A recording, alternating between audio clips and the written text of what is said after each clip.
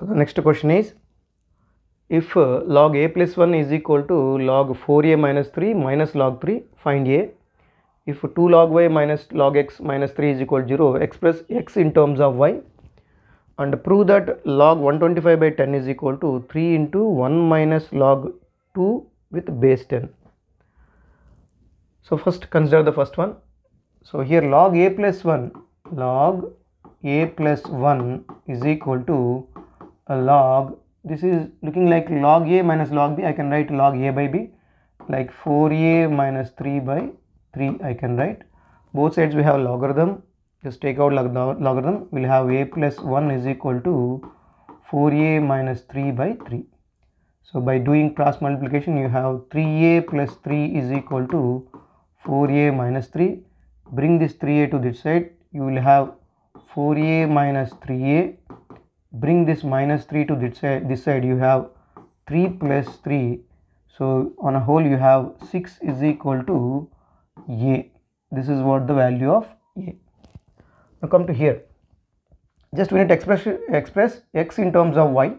So here we have log y square minus log x which is equal to I am bringing 3 to that side you will have plus 3 there so this will become log y square by x because log a minus log b can be written as log a by b which is equal to 3 which will be considered as base 10. So if you convert this one into exponential form you have y square by x is equal to 10 power 3. So express x in terms of y. So, so I am bringing x to that side. So you have x y square is equal to 10 power 3 into x. Bring that 10 power 3 into left hand side. So you have x is equal to y square by 10 cube. This is what the expression we need to show. Now come to here. Prove that. Prove that log 125 by 10 is equal to 3 into 1 minus log 2 base 10 so consider this one or you can consider that also. Consider this one. Log 125 i can write like uh, 5 cube with a base 10 which is equal to 3 log 5 with base 10.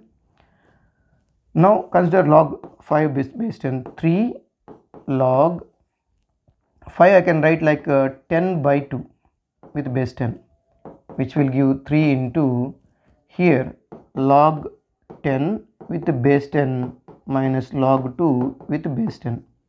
I am just splitting a by b like log a minus log b. So this one will become 1 minus that is log 2 with a base 10 that's what the required thing we need to show